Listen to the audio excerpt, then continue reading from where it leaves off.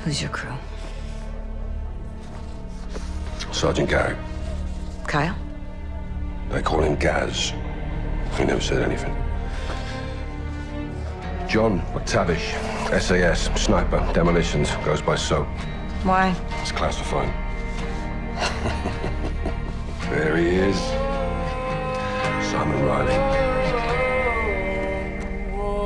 There's no picture. Never.